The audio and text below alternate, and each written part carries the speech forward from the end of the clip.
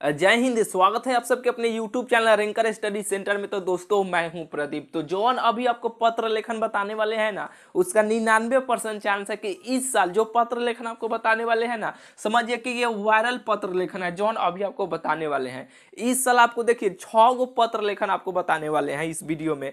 छो पत्र लेखन को अभी आपको तैयार कर लेना कैसे तैयार कीजिएगा, कैसे लिखिएगा, सारा चीज़ आपको इस वीडियो में बताने वाले हैं।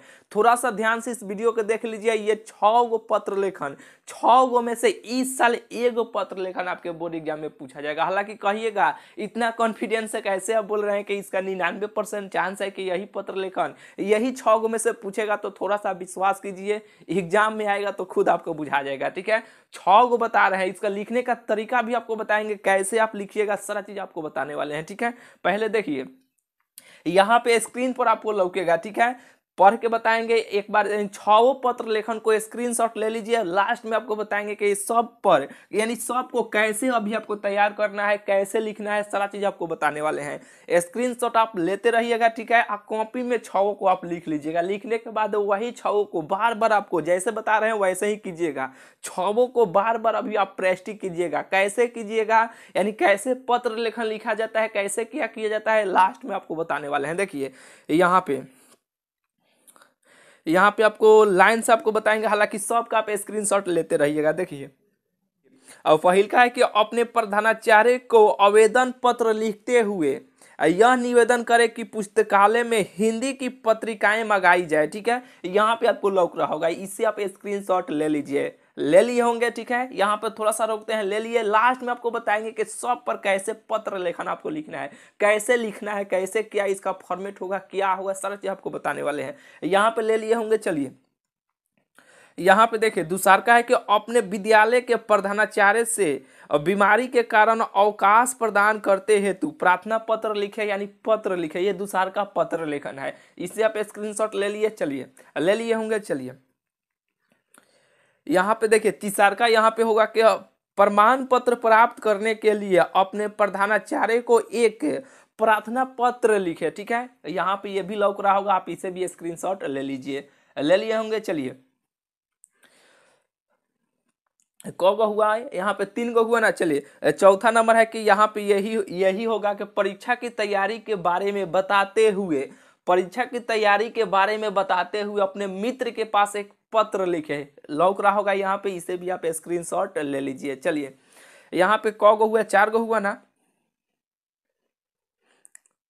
यहाँ पे देखिए, पांचवा नंबर है यहाँ पे आपको लौक रहा होगा कि अपने बहन की वैवाहिक कार्यक्रम में सम्मिलित होने के लिए अपने मित्र के पास एक पत्र लिखे। ये भी यहाँ पे लौक रहा होगा, इसे भी आप स्क्रीनशॉट ले लीजिए। चलिए, पाँच को हुआ ना? छठा नंबर लिखिए।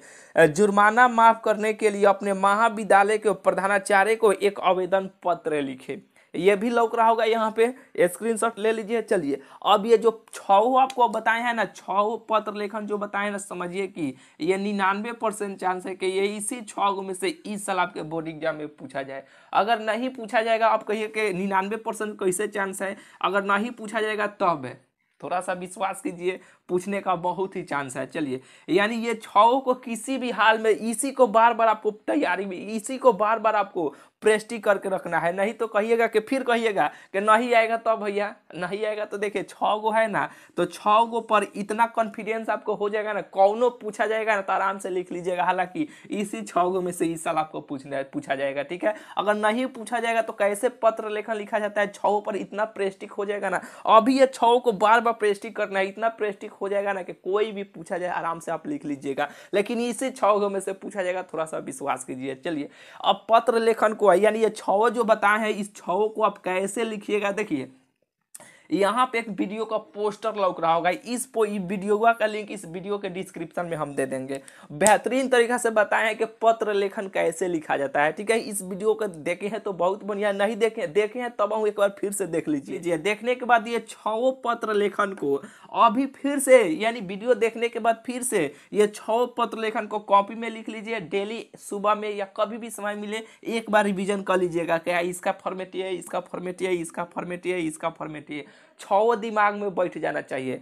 छः में सब कहिएगा, नहीं पूछेगा, तब, लेकिन आपके पास इतना कॉन्फिडेंस हो जाएगा ना कि कोई भी पत्र लेखन को लिख लीजिएगा। लेकिन इसी छः पत्र लेखन को बार बार आपको प्रैक्टिस करना है, ठीक है? इसी छः में से पूछा जाएगा। तो चलिए, यह पत्र लेखन का हुआ ना, अब इंग, अब बोलिए, मैथ का ला दे रहे हैं, ठीक है? बहुत सारे स्टूडेंट बोल रहे थे कि भैया, मैथ का ला दीजिए शॉर्ट क्वेश्चन लॉन्ग क्वेश्चन कौन पूछा जाएगा। हालाँकि पिछला साल पूरा ऑब्जेक्टिव और सब्जेक्टिव हालाँकि नहीं जानते होंगे, आप कहे कि ट्वेल्थ में नहीं थे, हालाँकि यहाँ पे एक पोस्टर यहाँ पे लग रहा होगा सब्जेक्टिव वाला। इससे भी आप देख लीजिएगा, हालाँकि सब्जेक्टिव क्वेश्चन भी सेम सेम क्वेश्चन पाँच गो। हालाँकि कितना पूछा जाता है, देख लीजिएगा, आपको इसमें पता चल जाएगा। सह objective question same question line से आया था, ठीक है? विश्वास कीजिए इस चैनल के साथ, जौन बता रहे हैं उतना तैयारी करना लीजिए, एक भी क्वेश्चन बाहर से नहीं पूछा जाएगा। जौन बता रहे हैं वहीं रहेगा, ठीक है? थोड़ा सा आप धैर्य रखिए, आराम से इस चैनल के साथ बने रहिए, वीडियो को शेयर भी करते रहिए, यानी अपने स्टूडेंटों को भी इस चैनल के बारे में बताते रहिए, ठीक है? जितना ज़्यादा से ज़्यादा स्टूडेंट रहेंगे, हमें भी उतना मोटिवेट मिलते रहेगा, ठीक है? आपका क्या काम है, आप जानते हैं ना कि वीडियो को लाइक कर दीजिए, चैनल को सब्सक्राइब नहीं किए तो सब्सक्राइब भी कर लीजिए इस वीडियो को जितना आप जहाँ पर भी हो सके, जहाँ पर ग्रुप में है, इतना ही ना काम है शेयर भी करते रहिए, ठीक है? इतना ही काम है, इस पर से मैथ का ला देंगे जॉन बताएँगे, समझिए कि वो अभी गर्दा गर्दा ही रहेगा, ठीक है? तो चलिए, मिलते हैं फिर आपसे अगले वीडियो में चैनल को। अभी तक भाई आप सब्सक्राइब नहीं किए हो तो कर ना लो, कर लीजिएगा। चलिए, मिलते हैं फिर आपसे अगले वीडियो में।